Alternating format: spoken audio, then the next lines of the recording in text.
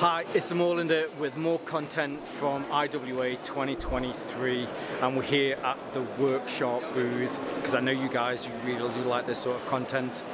Everyday EDC knives, being able to sharpen those up and hone them to what you want from them or if you're out in the woods, you're out wherever you are, being able to sharpen them as well, then yeah, you know this is a this is these are these are the implements that a lot of you have been using and want to see more content on. Now Joshua here has uh, uh he's going to help me. He's going to he's going to give you a little bit of a product demonstration. So I'll hand you over now to Joshua. Uh, on the guided field sharpener there's uh, there's angle guides right next to a coarse diamond stone, a fine diamond stone, a ceramic with angle guides, and then a leather strop. As I'm using this, if my knife is dull, I would begin on the coarse diamond. If it's just needing a touch-up, I would begin on the fine diamond, rest on the guide, and then maintain that angle across the stone.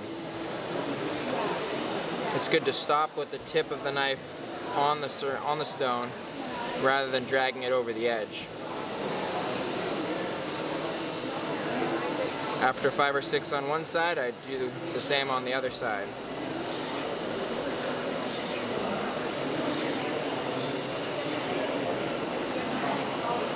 Then when I move to the ceramic, I alternate one side then the other usually 10 times total. Once I'm done with that, I do a reverse on the leather strop. There's an angle guide here, or you can do by feel.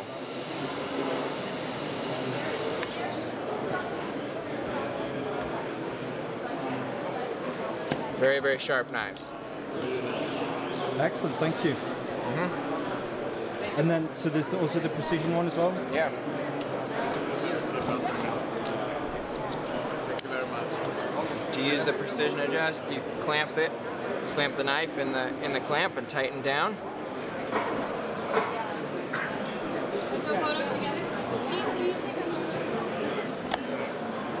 And then you have a selection of stones, uh, all the way from 220 grit diamond to a fine ceramic and a leather strop.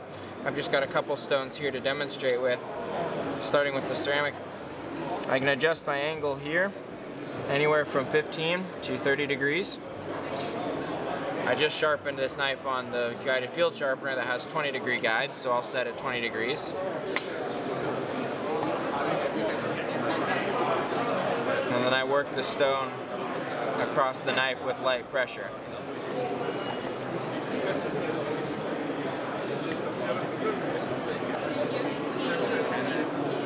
When I'm ready, I can flip to the other side. There's a button on the back, and then I can rotate the knife.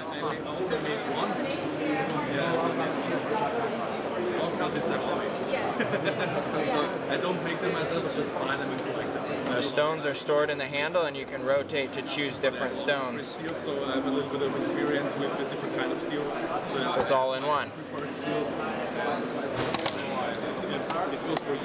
Well, there you go. So more from Work Sharp. I'll try and bring you some more content on them in the future as well. Uh, but for now, from IWA 2023, stay safe, stay Moorlander, and stay EDC.